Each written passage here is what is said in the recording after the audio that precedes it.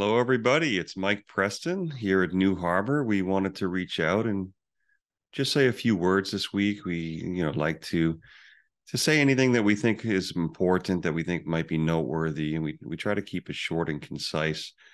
This week, I want to focus primarily on gold and silver, the precious metal mining, um, both the miners and the bullion markets.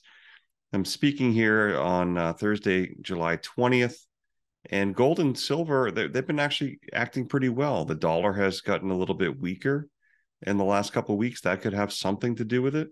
I'm going to bring up some charts here in a minute. I just want to, to kind of go through gold and silver the various ways that you might want to own it.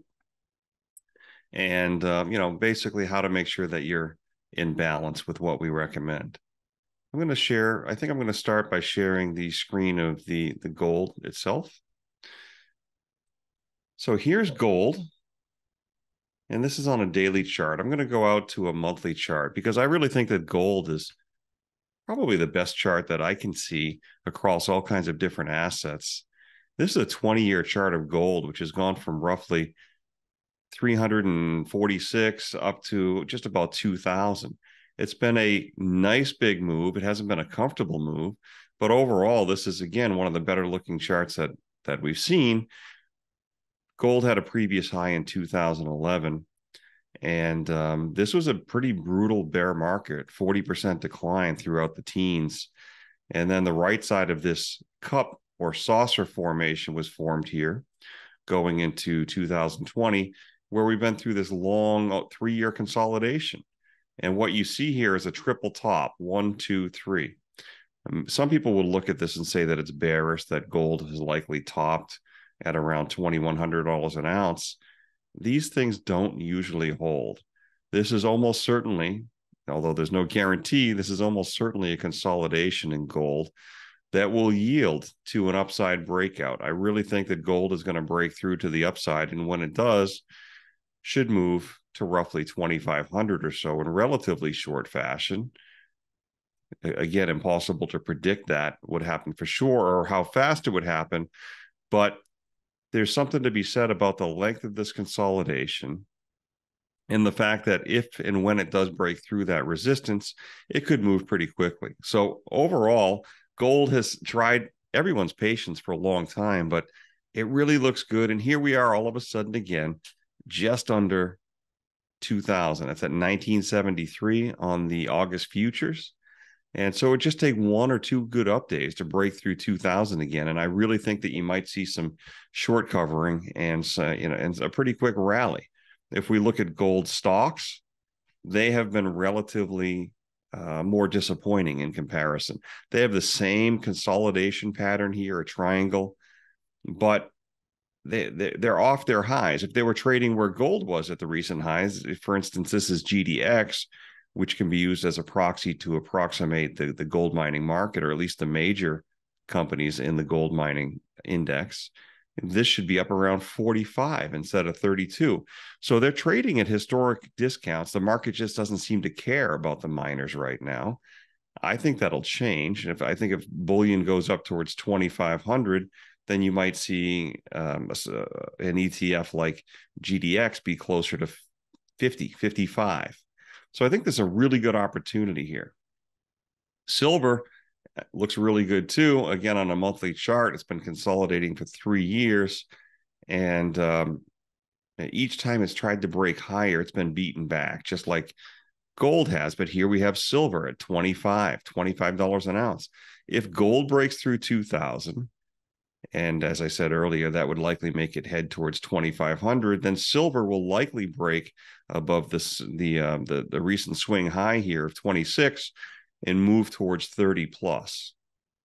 And I would only expect the miners to you know to, to follow along and take su- uh, to follow along in pursuit of that. So let me stop sharing here for just a minute and talk about ways to own gold and silver. What I just showed you was price charts, but I didn't really talk about how the average person should hold gold and silver. By far, the most preferable way to hold gold and silver, and the way that we recommend that you hold gold and silver, is in physical bullion form. And there's a number of different ways to, to, to hold that. We we'll talk about that in just a second and what we recommend. But overall, an allocation of 5% to 10% makes sense of your investable assets. So if, if you happen to have a million dollars in investable assets, let's say that would be fifty thousand to hundred thousand dollars in gold and silver. If you have a hundred thousand dollars in investable assets, that would be five to ten percent, five to ten thousand. On the lower end, if your investable assets are lower, I think you can actually go to a higher percentage. So, for instance, if you had a hundred thousand dollars in investable assets, you could potentially go higher, maybe as high as $20,000 or 20%. This all depends upon your own personal tolerance for risk, your belief about the stability of the world, your ability to store the metal. But in general, I think 5 to 10% makes sense. So let's talk about storage for a minute uh, and other options for holding metals, and then we'll talk about how to buy it. So we've already said 5 to 10% makes sense. Where do you store it? A safe would be the best way to go. Number one recommended way to hold gold and silver would be where you can put your hands on it very quickly. So for most people, that's a safe uh, in the home or close to the home. If you're not comfortable with that, then a safe deposit box at a local bank is good. That's probably the second best in terms of how to hold it. Uh, a third best might be a depository, you know, which is often going to be far away, but a depository is going to give you a high level of safety and you don't have to worry about it. There's good depositories in Salt Lake City, New York, Austin, Texas, and even overseas locations. Talk to us if you want to have that conversation. Other than that, you're you're really forced into into thinking about different things like paper gold or securitized gold not necessarily our favorite, but there's some really good options out there. I think I'll I'll hesitate to to give particular symbols or products, um, but there's some very good ones that we recommend. Shoot us an email if you want to have a conversation, or if you'd like a recommendation. But there's some pretty decent paper, gold and silver products. Suffice it to say that the ones we like are backed indeed by the by the real metal, and they can be converted to metal if you absolutely need to. Usually you can't convert to metal very easily because you'd have to take delivery of a full bar. But we do like the fact that they're actually backed by physical metal that's sitting in the vault. So when you buy, if you're going to take our recommendation and take delivery of bullion, the best thing to do is to find a dealer that you trust. And we can give recommendations if you'd like, but it doesn't really matter as long as you're working with a reputable dealer because the dealer's job is pretty simple. Gold and silver is, is just a very uh, fungible commodity. It's pretty much the same everywhere.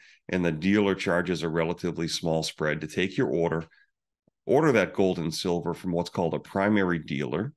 And the, by the way, the primary dealer buys from the, the mint that produces the coins, and then they deliver them to you. So you're going to pay about a 1% you know maybe maybe there's going to be maybe about a 1% spread for the for the broker or the dealer in most places so but again ask us if you want to have a recommendation in the gold market by far in fact the whole bullion market by far the most common way to buy gold and silver is one ounce bullion coins and the three most popular are in this order american gold eagles canadian maple leafs and South African Krugerrands. Those are the top three in my experience. And so if we focus in on just gold for one minute, the American Gold Eagle is by far the most popular and the most traded gold coin in the world. For a long time, over the last couple of years, the premiums on American Gold Eagles were quite high uh, as compared to their competitors, the Canadian Maple Leafs and the South African Krugerrands.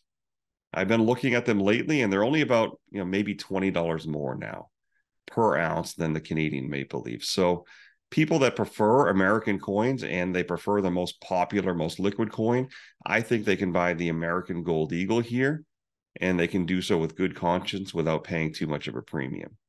They come in mint tubes of 20. So if you want to buy a whole tube, that's about it's a little over $40,000. An advantage of buying the the other two popular coins, the Canadian Maple Leaf and the South African Krugerrands, is they come in mint tubes of 10 coins. So that's only about $20,000 each.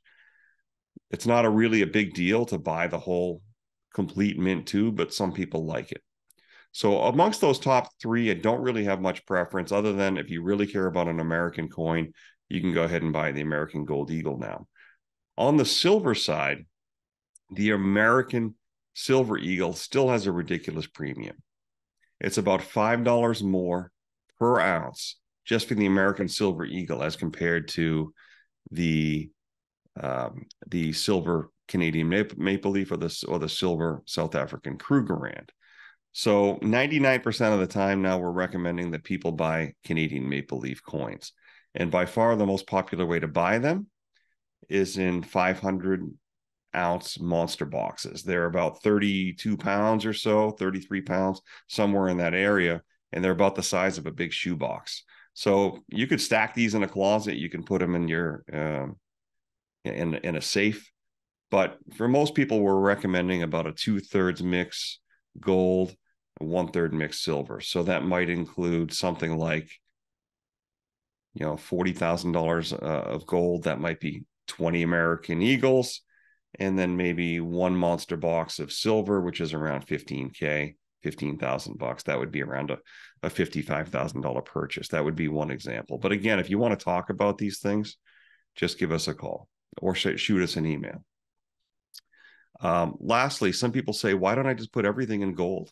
The heck with it. I'm sick of this this uh, this market that seems permanently risky, that seems fake. Some people have done that, and honestly, it's hard to disagree that that might be the right thing. The problem is, based on that chart I showed you a minute ago, it's it was a really hard thing to sit through a a 40% decline that lasted more than 10 years and anytime you put all of your eggs in one basket you're exposing yourself to psychological risk financial risk but even worse sometimes is the psychological risk and in our opinion just holding even 10% of your assets in gold and silver could be a life-changing difference if we have a real kind of crazy event happen if you have $50,000 in gold and silver and we have hyperinflation, for instance, and gold and silver goes up tenfold, you all of a sudden will have $500,000 worth of purchasing power. For a lot of people, that probably pays off a mortgage if they have one. You know, they could they can convert that gold and silver to pay off debt. In other words, so um, we think the best way to go is to have a more modest amount because we still think there's going to be opportunities in the stock market, which is why we're holding so much cash. We're still at about 35 to 40 percent cash equivalents here. We do think there's going to be a, a drop in the market. There's going to be opportunities in the market, but we want you to have the the gold and silver piece in place. So give us a call if you want to talk about it. I know I keep saying that, but that's what we're here for. 5 10% bullion in the ways that I just talked about it. We have roughly 10% mining uh, shares in our model. So if we're right and the and the mining shares go way up, then our clients will benefit as well. And uh, hopefully, we see some opportunity because just a quick two, three mm, uh, words on the stock market here, and then I'll close for the week. The stock market's been on a tear. In our opinion, it is the what is likely to be the last vestiges of this counter trend rally that started in October of 2022. But it has been pretty relentless. We've got just a handful of stocks that have been leading this market all year. And even though we've seen a little bit more participation amongst the broader market here, uh, there's just so many indicators that are telling us to be careful. Uh, we have all kinds of uh, ratios that tell us that bullishness is off the charts. I've got a lot of different charts I could share, but instead of sharing them, I think I'll just tell you, take my word for it. The bullishness has been off the charts, and there's this been this feeling that the market can't fail. Can't fail. It's been literally been up most of the last 37 to 40 days, the last couple months. So we'll see what happens. Um, we're making some moves to participate in a small way, but by by and large, we're still relatively neutral this market, only about 5% net stock exposure. So we want to continue to be really careful. We expect there to be some opportunities very soon. We hope so anyway, because it's been it's been a long road. Um, this this rally that's been pretty relentless that it really hasn't given people the chance you know to, to, get in in a safe way but that's been a hallmark of this market for many years and so we'll keep watching closely and we will take opportunities when we get the chance. And we'll update you here every week when we do something different. For now, that that's it for this week. I want to remind you, please, if you enjoy these updates and you'd like to be notified when we do something new, and we will be doing something new just about every week, please do subscribe to this channel. We just started it, trying to get it off the ground. Please subscribe, like the video as well, and uh, we really appreciate you viewing and we appreciate your support. Until next week, thank you very much.